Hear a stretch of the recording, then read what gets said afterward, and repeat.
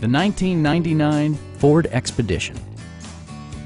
A 5.4-liter V8 engine pairs with a sophisticated four-speed automatic transmission, providing a smooth and predictable driving experience. Four-wheel drive allows you to go places you've only imagined.